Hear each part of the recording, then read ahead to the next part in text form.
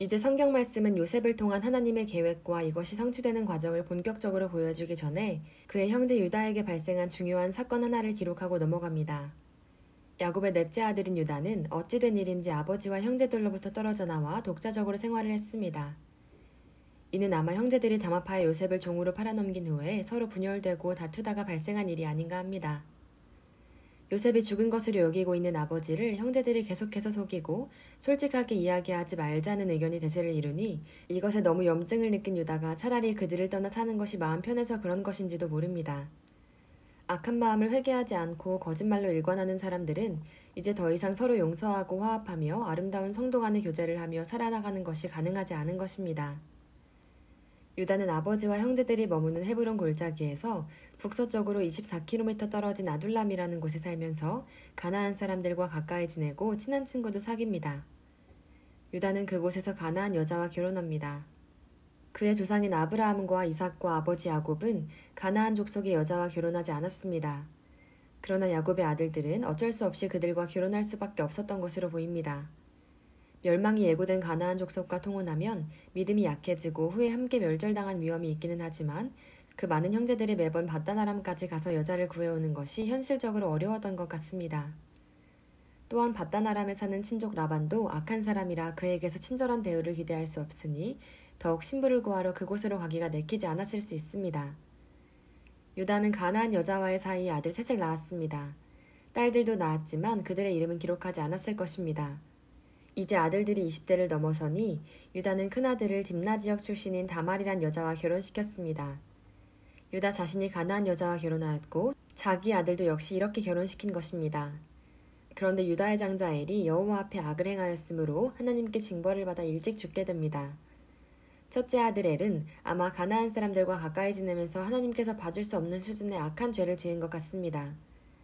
장자가 죽었으므로 유다는 동생 오난이 형수에게 장가들어서 아들을 낳아주게 했습니다. 이런 방식을 형사 취수제라 하는데 이는 하나님께서 창조 당시부터 인간들에게 주신 명령일 수 있습니다. 그러므로 많은 나라에서 오래전부터 대대로 행해지는 방법이고 하나님께서도 언약 백성에게 이 방법을 따르도록 지시하신 것 같습니다. 이 제도는 형이 죽은 후에 형의 대가 끊어지는 것을 막고 형수가 일부 재산을 물려받은 후 혈족이 아닌 다른 사람이나 외국인과 결혼하여 혈족의 재산이 외인에게 넘어가는 것을 막기도 할 수 있는 것입니다. 또한 남편이 죽은 후 의지할 곳 없는 미망인을 돕기 위함도 있는 것입니다. 후에 이스라엘 나라가 형성된 후에도 하나님께서 선민 백성들은 각자에게 할당된 땅을 영원토록 혈족의 이름으로 이어가게 하신 분이라서 이 제도는 태초부터 하나님의 뜻에 맞는 양식이라 볼 수 있습니다. 이렇게 하면 둘째가 형수와 결혼해서 처음 낳은 아들은 형의 족보에 올려서 형의 재산을 상속받아 이어가고 둘째 아들부터는 자신의 족보에 올리는 방식으로 해서 결국 모든 사람의 대가 끊기지 않고 이어가게 됩니다. 만약 시동생이 형수와 결혼하기를 싫어할 때는 사람들에게 공개적으로 욕과 비난을 받아야 했습니다. 그런데 둘째 아들 오난이 형수를 취하기는 했으나 그녀에게서 아들을 낳아주지 않으려고 체외 사정을 하였습니다. 하나님은 이것을 악하게 보시고 오난도 징계로 죽게 하십니다. 오난이 벌을 받은 이유는 무엇일까요? 그는 아마 자신이 좋아하는 여자가 있었거나 이미 결혼한 상태였을 가능성이 있습니다. 그렇다면 그는 형수가 아이를 낳는 것을 원하지 않을 수 있습니다. 만약 그가 형수와 평생 일부 일처로 산다면 어쩔 수 없이 첫째는 형에게 돌리더라도 둘째부터는 자신의 아들로 할 수 있는데 첫째부터 낳기를 기피했다는 것은 형수에게서 아예 아이를 낳지 않겠다는 뜻일 수 있습니다.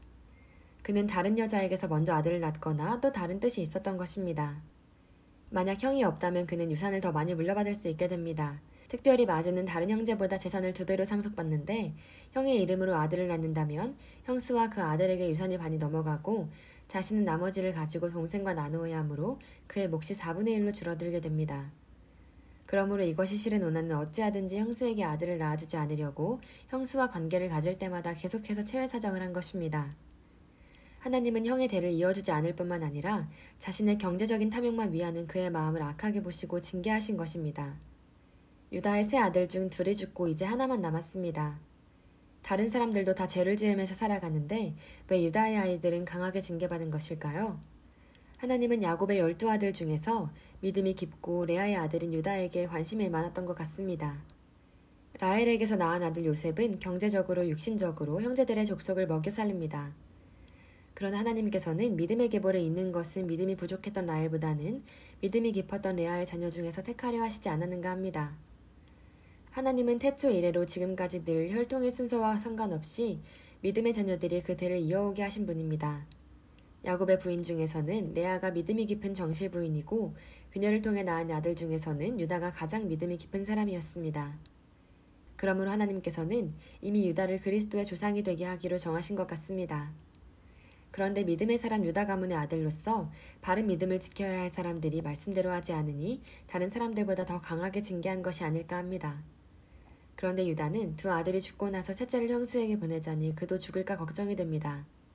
그래서 일단 며느리 다말에게 셋째 아들 셀라가 충분히 성장할 때까지 친정에 가서 정조를 지키며 기다리고 있으라 합니다. 그리고 나서 셋째 아들이 성장한 후에도 그녀에게 주기를 기피하고 시간만 끌게 됩니다.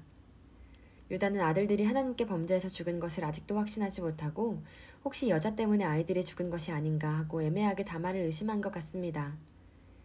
그런데 유다의 아내가 더 이상의 아들을 낳지 못하고 그만 죽어버립니다. 유다는 홀몸이 되었습니다. 유다는 수년간 혼자서 지내는 중 양털 깎는 행사를 하려고 딥나로 간 적이 있습니다.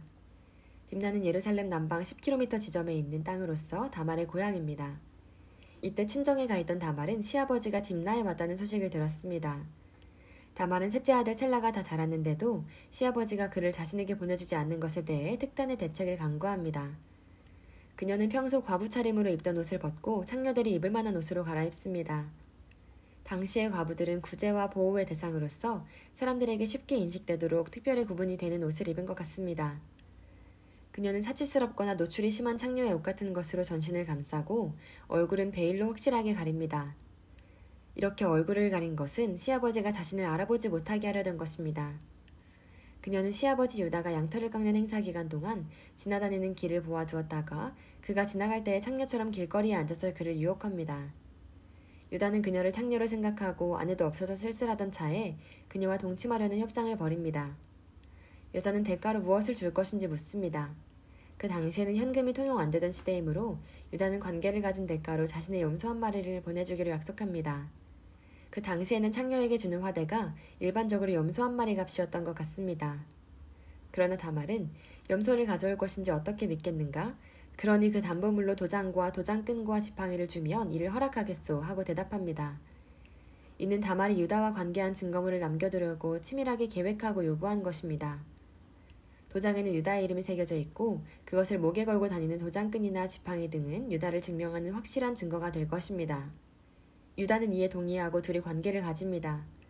그러고 나서 유다는 공개적으로 하기에 부끄러워서 종을 시키지 않고 친구에게 부탁해서 염소 새끼를 주고 담보물을 찾아오게 합니다.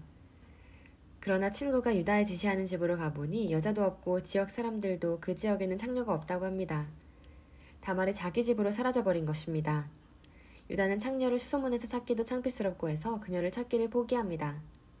그리고 나서 3개월 후에 그의 과부 며느리 다말이 임신했다는 소식을 듣게 됩니다.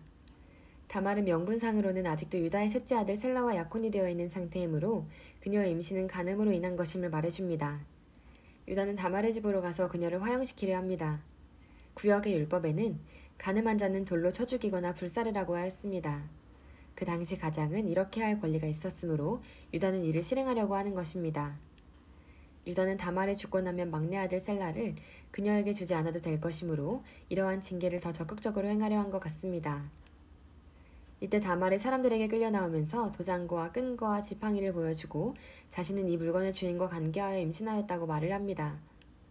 유다는 그것이 자신의 것인지 알아보고 다말의 음모와 실체를 파악합니다.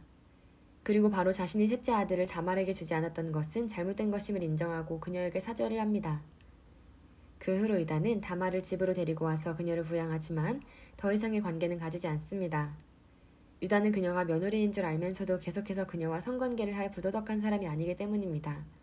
처음에는 모르고 행했지만 더 이상 육신의 정욕으로 인한 죄를 짓지 않으려는 노력과 참된 회개의 모습을 보인 것입니다. 여기서 다말이 한 행위에 대해서 살펴보겠습니다. 어떤 사람은 다말의 성욕을 만족시키려고 시아버지를 유혹했다고 생각하기도 합니다. 그러나 이는 완전히 잘못된 추정입니다.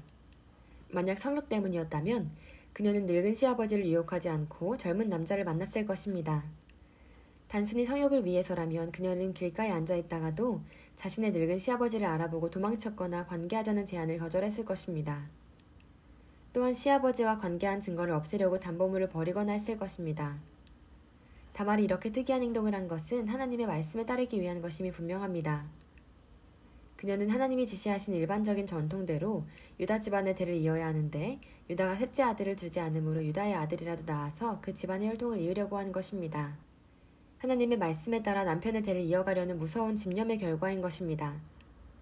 이는 명백히 옳지 않은 방법일 뿐만 아니라 기독교적, 윤리적 측면에서 볼 때에는 엄연한 간음죄와 근친상간죄에 해당합니다. 그러나 어찌하든지 하나님의 백성 유다 집안의 신앙 전통을 따르고자 한 것이므로 그의 마음의 본질은 나쁜 것이라 할 수 없습니다.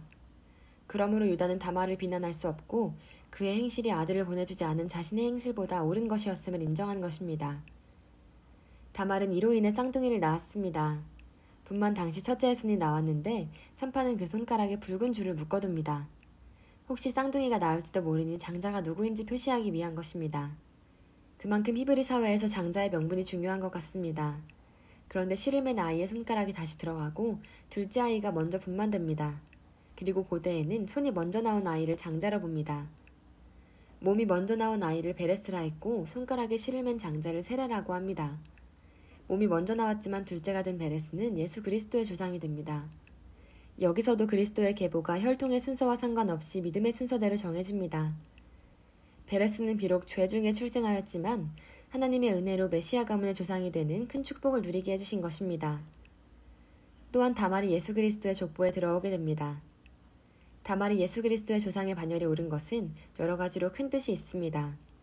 그녀가 비록 도덕적으로 수치스러운 큰 죄를 범하기는 했지만 믿음의 가문에서 자녀를 낳으려 한 것은 그리스도를 바라고 믿으면 구원받는다는 진리를 보여줍니다. 예수 그리스도는 의인을 부르러 온 것이 아니라 죄인을 부르러 오셨다 했습니다. 또한 다말과 같은 이방인이라도 믿음만 있으면 그리스도의 계통에 참여할 수 있는 것을 보여주는 것이기도 합니다. 하나님은 다말의 믿음, 순종을 위한 필사적인 노력을 보시고 그녀에게 복을 주신 것입니다. 이는 또한 그리스도의 족보에는 온갖 비천한 사람이나 죄인도 들어오게 하심을 보여줍니다. 그들이 육체적으로, 혈통적으로 자랑할 것이 있어서 계보에 들어간 것이 아니라는 것입니다. 그래서 그들의 부끄러운 일도 그대로 기록된 것입니다.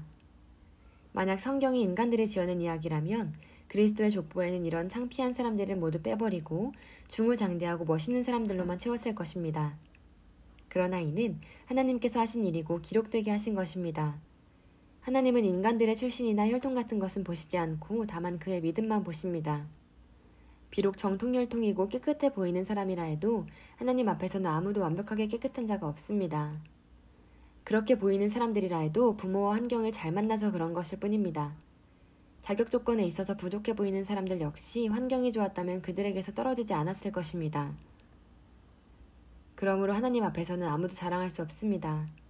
오로지 하나님에 대한 사랑과 말씀 순종의 노력, 그리스도를 통한 구원을 바라는 믿음을 가진 자만이 가장 존귀하게 여김받는 것입니다.